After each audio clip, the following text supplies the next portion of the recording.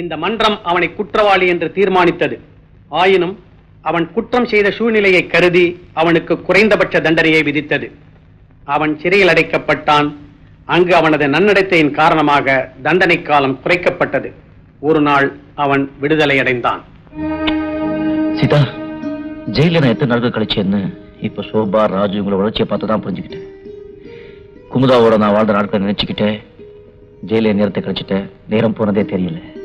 அந்த நினைவுகளோட அந்த கனவோட என் வாழ்க்கை முடிச்சுக்கலாம்னு நினைக்கிறேன்.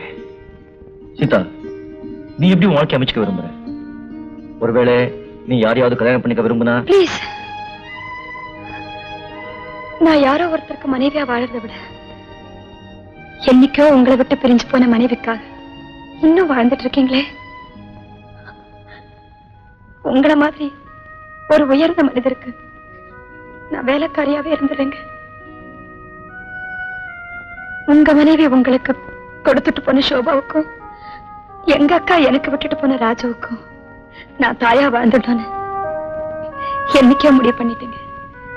அதுக்கு உங்களோட அனுமதி எனக்கு கிடைக்கும் நான் நினைக்கிறேன்.